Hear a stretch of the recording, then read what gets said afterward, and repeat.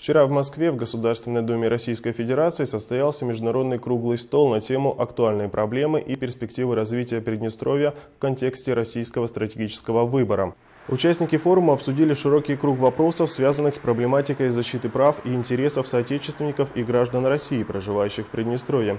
Особый положительный отклик представителей российской общественности вызвали тезисы о евразийской интеграции Приднестровья. Их планируют закрепить в новой концепции внешней политики республики. Этот документ, проект которого находится на стадии завершающей подготовки, был оценен как качественный подъем во внешнеполитическом позиционировании Приднестровья.